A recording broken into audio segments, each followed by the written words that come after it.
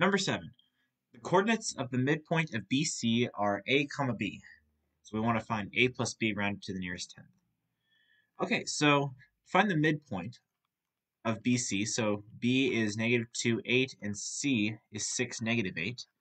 To find the midpoint, you have to do it coordinate by coordinate, and all you do is find the average. So if we want to find the x-coordinate of the midpoint, all you have to do is find the average of these x-coordinates. So the average of negative 2 and 6, well, negative 2 plus 6 gives you 4, and then divided by 2 is 2.